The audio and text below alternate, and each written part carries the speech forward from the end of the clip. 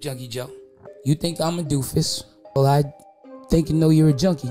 Know someone who sold you cocaine sniffing your nose. Picture that look like you was freebasing, sir. I'm not gonna accuse you of that, okay, junkie? Nah, junkies have opinions on me.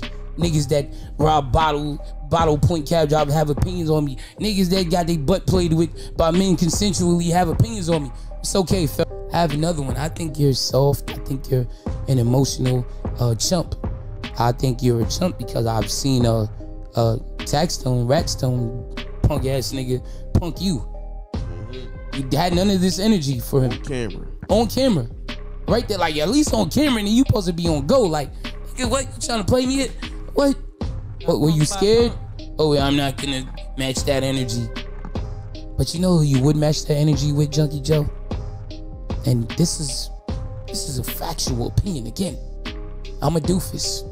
You would match that energy with women.